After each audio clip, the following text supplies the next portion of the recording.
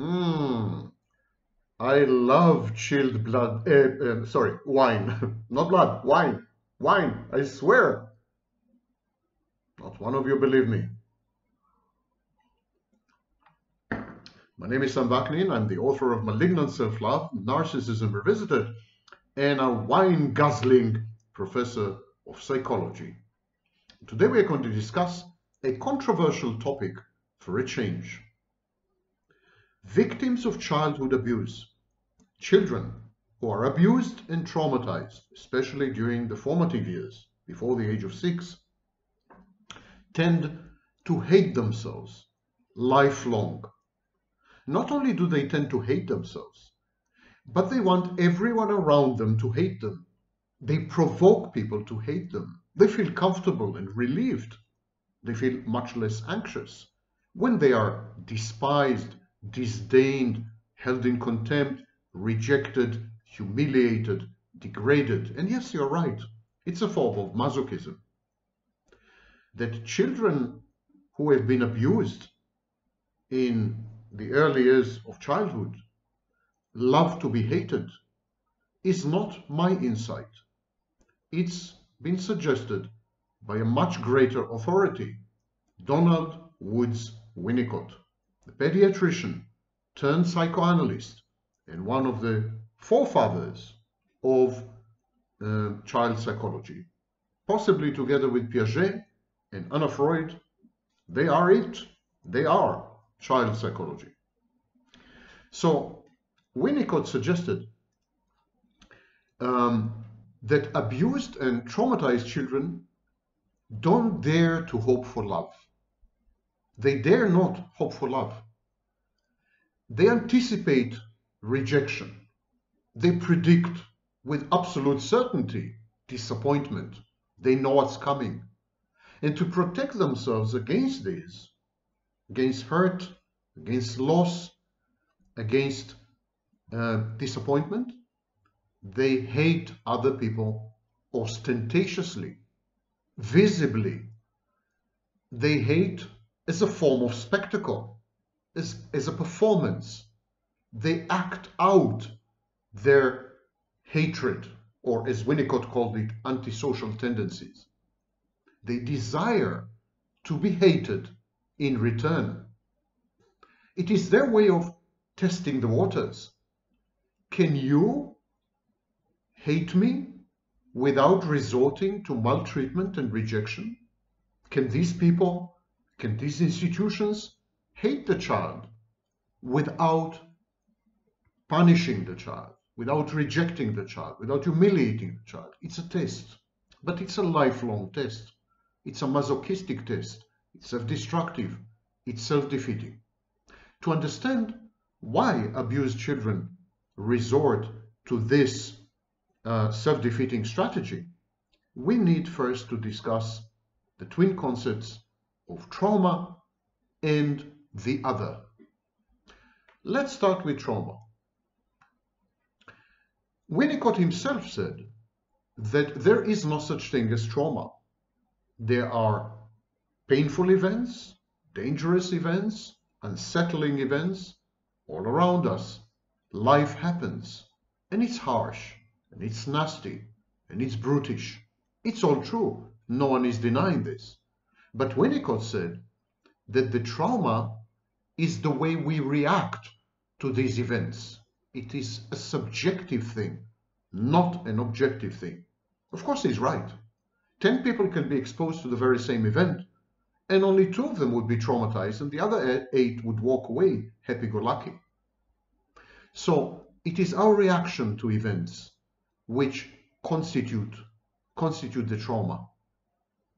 Epictetus, who preceded Winnicott by a few millennia, Epictetus said, men are disturbed not by events, but by the views which they take of these events.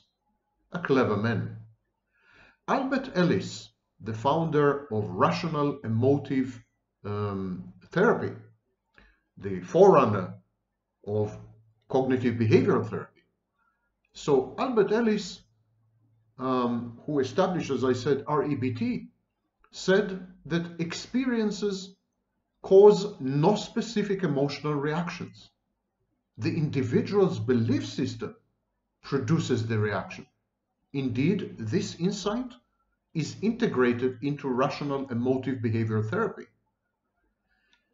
And then there was Harry Stack Sullivan. He said that people are products of their environment, including traumatic environment. Boris Cyrulnik studied trauma in depth, and he reached a conclusion after decades that trauma consists of the injury, but also, or mainly, of the representation of the injury in one's mind. Adult interpretations of events, that is the most damaging post-traumatic experience for children. Children go through life or at least through the formative years, pretty oblivious to the meanings, the meaning of what's happening around them.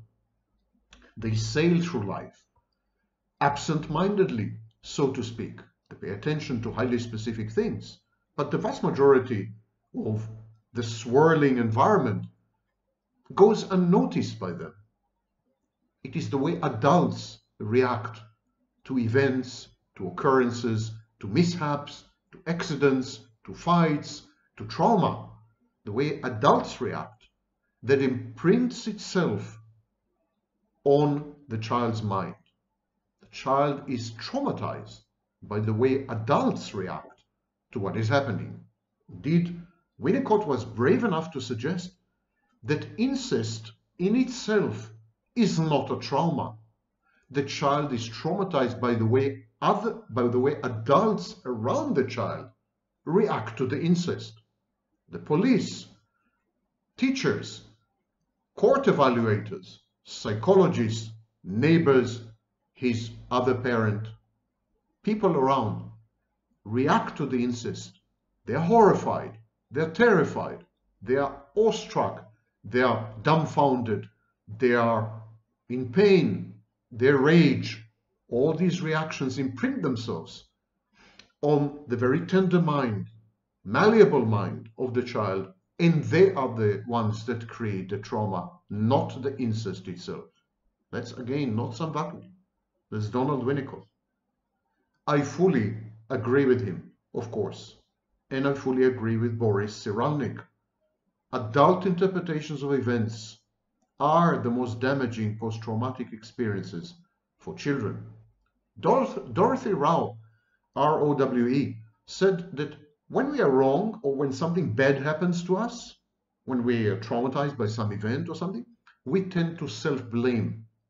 We tend to feel guilty, ashamed, and helpless. These are the very foundations of trauma. We can summarize this segment by saying the trauma is an environmental subjective thing, not an objective thing. The child looks around, gauges adult reactions to what is happening, and then develops trauma. This is point number one. Point number two, the assemblages of traumas and abuse in the life of an abused child, in the life of a mistreated child. These assemblages begin to constitute this child's self or self states. In other words, in other words, the child is formed by his experiences of trauma and abuse. There's nothing new in this. Uh, even Freud, 120, 130 years ago, had suggested that the young mind, the brain, is molded by experiences of trauma and abuse. And, and generations of scholars after Freud had fully agreed, including the latest discoveries in neuroscience. Trauma and abuse shape the brain. The brain is neuroplastic to a large extent. And so if trauma and abuse shape the brain, and if trauma is a subjective experience reactive to the environment, one could safely say that traumatized children, abused children, are shaped by the reactions of their environment to the objective events that are happening. Georg Hegel, who was a German philosopher, says that, said that consciousness of self depends on the presence of the other. Jean-Paul Sartre, decades later, said that the perception of the world, including the perception of other people, changes when another person appears. We absorb that other person's concept of the other and assimilate it into our own concept. In other words, we are totally shaped, we shapeshift as people enter our immediate presence. We are heavily influenced by other people, their reactions, their beliefs, their opinions, their views, their speech acts, and of course, their actions. Let us summarize these two segments together. Children who are abused and traumatized in childhood develop trauma and post-traumatic conditions because of the reactions of the adults in their immediate environment. The self-states of such a child develop in accordance with input from the outside. The child shapes itself, forms itself, molds itself to reflect the other. Other people around the child come to define the child. And if they react to the trauma in a way that in itself is traumatizing, the trauma is actually multiplied. I would like to read to you something by Jacques Lacan. Jacques Lacan is my spitting image. We look like identical twins, but we couldn't be further from each other in our thinking. Still, you know, even a clock that is dysfunctional shows the right time twice a day. And I must admit that Jacques Lacan had shown the right, the right time more than twice in his career. So I want to read to you something um, from and about Lacan. Lacan therefore concluded that each one of us is a self only because we have a concept of the other. For Lacan, the other is the absolute otherness that lies beyond the self. It is the environment into which we are born and which we have to translate or make sense of in order to survive and thrive. An infant must learn to assemble sensations into concepts and categories in order to function in the world. And he or she does this through gradually acquiring an awareness and understanding of a series of signifiers, signs, or codes. But these signifiers can only come to us from the external world, of course, the world that lies beyond, beyond the self. Therefore, we, they must have been formed from the language, or what Lacan prefers to call discourse, of the other, in other, words, in other words, the others form us. We import from the outside the meaning and the sense of the world, and it becomes us. Lacan says we are only able to think or to express our ideas and emotions through language. And the only language we have is that of the other. The sensations and images that translate into the thoughts of our unconscious must therefore be constructed from this language of the other. Or, as Lacan stated, the unconscious is the discourse of the other. So we have established, I think, to our satisfaction that what we call self or I call self states are actually formed by interactions with other people and they interpret interpret the world for us. They tell us, wow, this is traumatic, or wow, this is a great thing that has happened to you, you should be happy. We tend to conform to these expectations and messages. Charles Horton Cooley called it the looking glass self. He said that we view ourselves based on how we imagine that other people view us.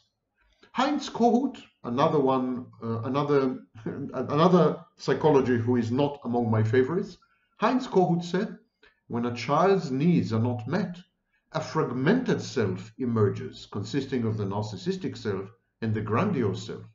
Eric Berne, who is a favorite of mine, said that we, we harbor, we contain, lifelong, throughout the lifespan, child, adult, and parental ego states. And finally, Fritz Perls, the founder of Gestalt therapy, said that a sense of reality can, is created through perception, the ways we view our experiences and not the events themselves.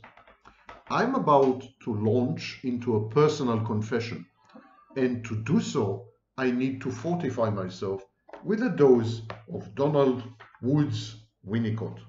I'm going to read to you something that he had written about hatred. He said, uh, The child of a broken home or without parents spends his time unconsciously looking for his parents and so feelings from past relationships are displaced onto other adults. The child has internalized the hate and sees it even when it is no longer present. And so in this new situ in, in new situations, the child needs to see what happens when hatred is in the air. Winnicott says, what happens is that after a while, the child so adopted so the child who finds himself in new environments gains hope. And then he starts to test out the environment he has found and to seek proof of his guardian's ability to hate objectively. There are many, many ways for the child to express hatred and prove that he or she is indeed not worthy of being loved. This worthlessness is the message that was imparted by earlier negative parental experiences. From the child's point of view, he is attempting to protect himself from the risk of ever having to feel love or to be loved because of the potential disappointment that accompanies that state of being. So, children who are victims of abuse love to be hated. They're used to be hated. They expect hate. They make, make everyone around them hate them. That's their comfort zone. They provoke people. They misbehave. They become antisocial. They test everyone constantly. And this is the case with children who later become mentally unhealthy, mentally unwell. For example, narcissists. I read to you something I've written and published 25 years ago when no one heard of narcissism and I was the only narcissist worldwide to come out of the closet and to admit to having been diagnosed with narcissistic personality disorder. It took another 15 years for another narcissist to do the same. So during these 15 years, I was Mr. Narcissism. I was the target for all the hatred in the world, all the victims of narcissistic abuse, a phrase that I coined, hated me as a stand-in for their spouses or boyfriends or mothers or fathers. I was the dartboard and everyone was sniping at me. This is still the case to a large extent today. And at that, at that time, 25 years ago, I published this kind of confession. I said, if I had to distill my quotidien existence in two pithy sentences, I would say I love to be hated and I hate to be loved. Hate is the complement of fear and I like being feared.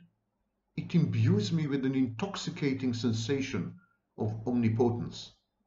I am veritably inebriated by the looks of horror or repulsion on people's faces they know that I'm capable of anything. I am godlike. I'm ruthless. I'm devoid of scruples. I'm capricious. I'm, I'm unfathomable. I'm emotionless.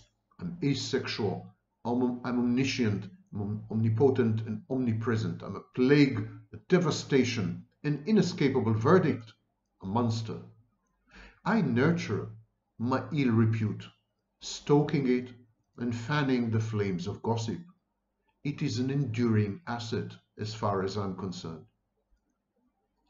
Of course, he who loves to be hated and hates to be loved also loves to hate and hates to love. He fears intimacy. The narcissist's emotional complexity ambivalence towards significant others is notorious. His so-called love often comes laced with bouts of vitriolic or even violent abuse and aggression. But the narcissist's hatred is atypical. Rempel and Burris suggested in 2005 that hate is a stable exper experiential state, that it is an emotion, and that it involves a goal-driven motivation to diminish or utterly eradicate the well-being of the target of hate. But in contradistinction to this definition, the narcissist's hatred is not stable. It is a transformation of resentment and therefore an aggressive reaction to frustration. It's much more like uh, Dollard, Dollard's uh, aggression, uh, frustration aggression hypothesis in 1939. The narcissist does not care about his victim's well-being. He just wishes to remove the fount of frustration altogether and expediently. And so by the lights of Burris and Rempel, the narcissist's hatred doesn't qualify as hate at all. But of course, that's wrong. The narcissist does hate, abundantly so. The narcissist resents his abject dependence on his sources of narcissistic supply. And by ridding himself of the constant presence of these sources, he seeks to ameliorate and mitigate the irritation and the anxiety that they cause him. He, his dependence on other people irritates him and makes him anxious, and he wants to remove these other people from, from his life. Of course, even as he hatefully acts against his sources of supply, his fans, his followers, his subscribers, his lovers, he is terrified of losing them, and he attempts to placate and to bribe them into staying and fulfilling their function. And this is the famous approach avoidance repetition um, compulsion, expounded upon much later by Václavic. But hate and fear are also sure generators of attention. We underestimate this aspect of virulent negative affectivity. Just go online on social media and you will see how much attention you can reap by being viciously aggressive, overtly violent, ostentatiously envious, etc. It is all about narcissistic supply, of course, the drug which we, narcissists, consume and which consumes us in return. And so coming back to me, of course, I attack sadistically people authority figures, institutions, my hosts, my fans. I make sure that they know about my eruptions and learn to hate me. Even people who start out loving me, I want them to end up hating me. I purvey only the truth and nothing but the truth, but I do it because I'm a sadist. The truth hurts. I love to see the discomfort and pain that it causes. I tell it bluntly in an orgy of evocative Baroque English. The blind rage that this induces in, in the targets of my vitriolic diatribes, this blind rage provokes in me a surge of gratification, satisfaction, inner tranquility, not obtainable by any other means. I like to think about their pain, of course, but that is the lesser part of the equation. It is my horrid future and inescapable punishment that carries the irresistible appeal to me. Like some strain of alien virus, it infects my better judgment and I succumb. I even give up on narcissistic supply. I give up on, on available offered sex. I reject sexual advances. I reject friendships, all in order to make people angry at me and hate me.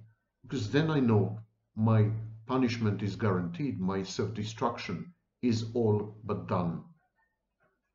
In general, my weapon is the truth and the human propensity to avoid the truth. In tactless breaching of every etiquette, I chastise, hector, berate, snub, and offer opprobrium. I'm a self-proclaimed Jeremiah. I harangue from my many self-made pulpits. I bully, I understand the prophets. I understand Torquemada. The truth is a powerful hurt-inducing weapon. I weaponize it the way many others did throughout history. I bask in the incomparable pleasure of being right. I derive my grandiose superiority from the contrast between my righteousness and the humanness and fallibility of others. But it is not that simple. It never is that simple with narcissists. Fostering public revolt and the inevitable ensuing social sanctions fulfill, fulfill two other psychodynamic goals. The first one I alluded to. It is the burning desire, the need, the drive to be punished, to be hated, to be rejected. In the grotesque mind of the narcissist, his punishment is equally his vindication. By being permanently on trial, the narcissist claims the high moral ground and the position of a martyr or a victim, misunderstood, discriminated against, unjustly roughed, outcast by his very towering genius or other outstanding qualities. To conform to the cultural stereotype of the tormented artist or the mad genius, the narcissist provokes his own suffering. He is thus validated. Suffering is his hallmark, his badge of honor, his only accomplishment in many cases. The grandiose fantasies of the narcissist, in this way, acquire a modicum of substance. The narcissist can tell himself, if I were not so special, they wouldn't have persecuted me so. Paranoia is a form of narcissism. The paranoid is at the very center of attention, malign attention, but attention all the same. The persecution of the narcissist is his uniqueness. He must be different for better or for worse. The streak of paranoia embedded in the narcissist makes the outcome inevitable. His persecutory delusions are translated into actions that guarantee their own validity. Narcissist is in constant conflict with lesser mortal beings, his spouse, his shrink, his boss, his colleagues, his neighbors, his pastor. He is forced to stoop to the intellectual level of these midgets. The narcissist feels like Gulliver, a giant strapped by Lilliputians. The life of the narcissist is a constant struggle against the self-contented mediocrity of his surroundings. He stands out. He is special. And if no one else would tell him that, he tells himself. This is called self-supply. This is the narcissist's fate and destiny, which he accepts, though never stoically. It is a calling, a mission, and a recurrence in his stormy life. To be hated is to be real. To be hated is to be true. To be hated is to be right.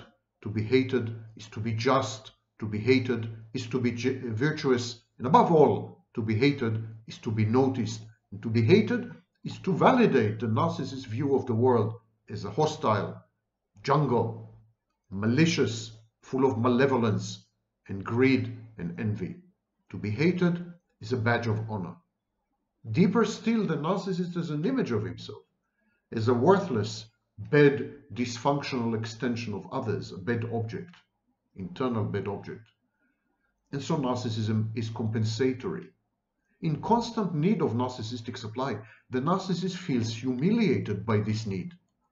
The contrast between his cosmic fantasies and the reality of his addiction, dependency, his clinging and neediness, and his often failure, the grandiosity gap between reality and fantastic self-image, that's an emotionally wrenching and harrowing experience. It is a constant background noise of devilish, demeaning laughter, harsh, unforgiving, unremitting, unrelenting inner critic sadistically in pursuit of the narcissist sitting in, in judgment of him, in a tribunal that never adjures and is never satisfied and presents no evidence. The voices say, You're a fraud and an impostor. You're a zero. You deserve nothing. You're a failure and a loser if they only knew how worthless you are. And the narcissist attempts to silence these tormenting voices, not by fighting them, but by actually agreeing with them. Unconsciously, sometimes consciously, the narcissist says to these voices, I do agree with you. I am bad. I am worthless. I am deserving of the most severe punishment for my rotten characters and bad habits, addictions, and the constant fraud that I've become. I will go out. I will seek my doom. I will make everyone hate me and, and destroy me. Now that I've complied with you voices, my introjects, will you leave me alone? Will you leave me be? And of course, they never do.